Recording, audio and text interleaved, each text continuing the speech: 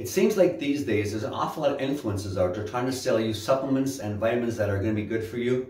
And one of the hot topics these days are greens products. I'm sure you've heard these things if you have any time on the internet and listen to podcasts, you've heard about people promoting greens products. Well, some of these are brand new, not very well formulated. Some have been around for a while, but are very expensive.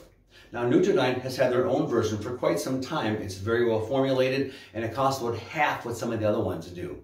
Now, one of the reasons I like their fruits and greens is that along with the greens products they have in there, they have specialized antioxidants, they have some digestive enzymes, they have fiber in there, some have probiotics. So if you're looking for a well-rounded green product at a lot less price with very good quality, I recommend Dynamic Fruits and Greens. You want to spend more money or try one of the new ones?